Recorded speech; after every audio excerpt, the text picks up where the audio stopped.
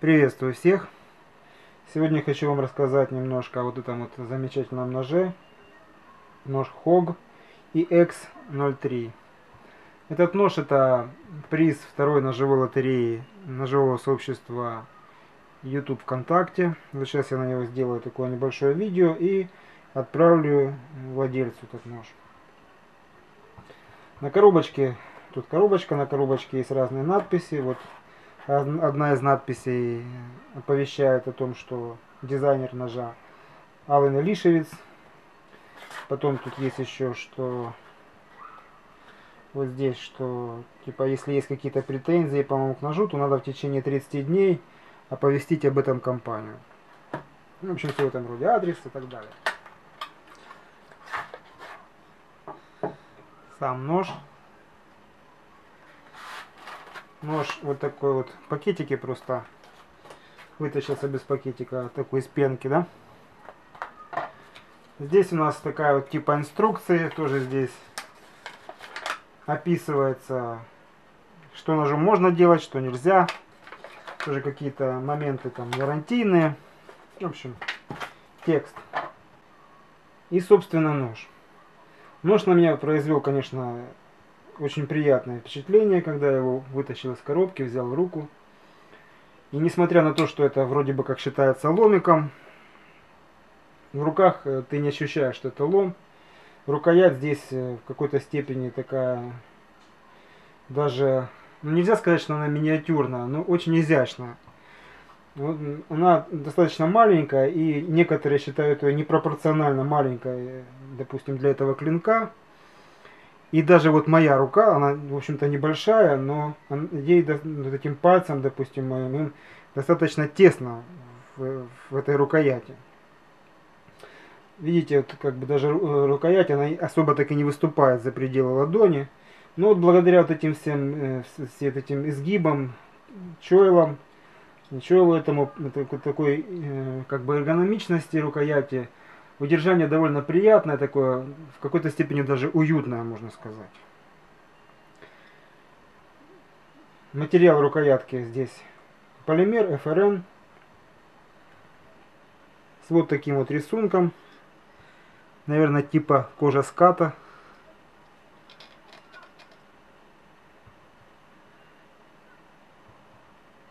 С этой стороны нет довольно такая разлапистая клипса, но вы знаете, очень удобно на кармане и, видимо, я думаю, что благодаря именно тому, что здесь такое серьезное расширение, каплевидное такое или даже пальцевидное, она очень хорошо и легко ложится на, садится на карман. То есть ты абсолютно не задумываешься о том, там, чтобы как-то подправить, что-то помочь. Просто засунул, не глядя, и все. Она достаточно тугая, но, конечно, в меру. Клипсу здесь можно переставлять, э, делать тип up и тип down. И вот, кстати говоря, для меня лично, допустим, очень э, как бы примечательно то, что в отверстиях э, под клипсу вставлены вот такие вот латунные такие втулки, что ли, с резьбой, да. Наверное, это говорит о том, что этот нож имеет довольно серьезный такой задел прочности даже в таких вот мелочах, как отверстие для того, чтобы крепить клипсу. Замочек, значит, у нас здесь кнопочный. Нажимаем на кнопочку и закрываем. Отжимается и нож закрывается.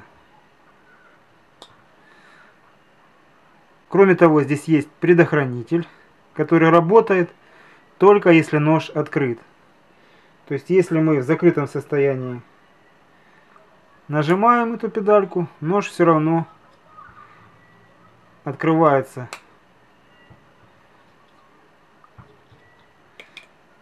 И закрывается. Но если мы откроем нож, Нажмем на педальку, нож уже не закрывается. То есть надо об этом помнить. И я так предполагаю, что если баловаться этой педалькой, в закрытом состоянии, то, наверное, там можно даже что-то сломать. То есть есть э, темлячное отверстие и есть, э, опять же, пластиковый скулобой. Стеклобоем, ну, в принципе, я бы это уже не назвал, но скул крашер, в принципе, пластика будет достаточно при необходимости. Теперь немножко пробежимся по клинку. Значит, клинок здесь длиной почти, почти 9 сантиметров. В обухе он почти, опять же, 4 миллиметра. То есть достаточно такой серьезный. Сталь здесь нигде не указана на клинке, но сталь 154,7. Это мы знаем из описания на сайте там и так далее. А, значит, обработан, обработана поверхность Stone Wash. Надеюсь, будет видно. За Stone Washена. Танта. Э, Причем с двухсторонними спусками. Здесь у нас спуск и здесь у нас спуск. Ну вот, в принципе, наверное, вкратце. Вкратце все об этом ноже.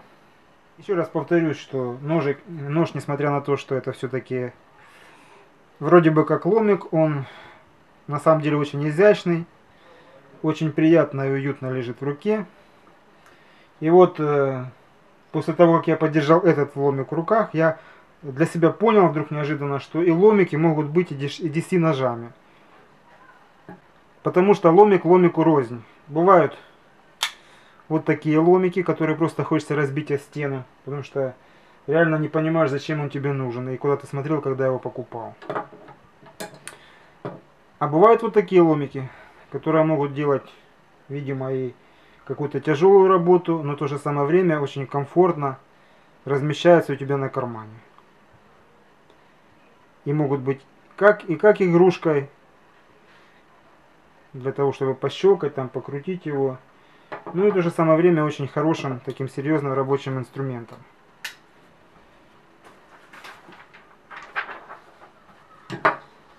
Заточен нож прекрасно.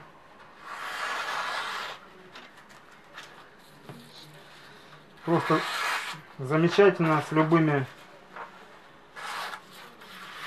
Сейчас попробую.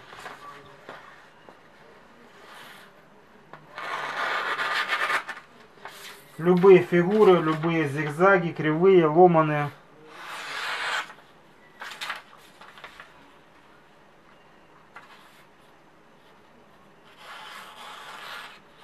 В общем, все замечательно. Чеки э, из супермаркета замечательно режет. Все он замечательно режет. Вот такой нож, который вот я уже ВКонтакте написал, который на самом деле не хочется выпускать из рук, вот честно.